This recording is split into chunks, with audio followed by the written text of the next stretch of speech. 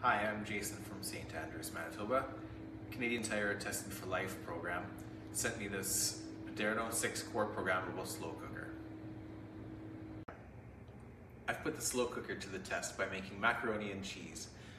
It has a digital programmable face here uh, with three settings, low, medium, high, and then there's also a warm setting as well.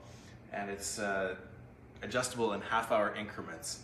So you just press your selection and you can adjust it by half hour up or down. And then you can just hit stop to cancel. The features I find that make this product high quality are a large oval crock. You can use it for large items uh, or smaller batch items as well. Uh, and also the handles on the side here don't get hot like other crocks might. Overall, I recommend this slow cooker to family and friends. There are a couple of things I would change, uh, such as adding a um, programmable delay start, uh, but I would overall recommend it.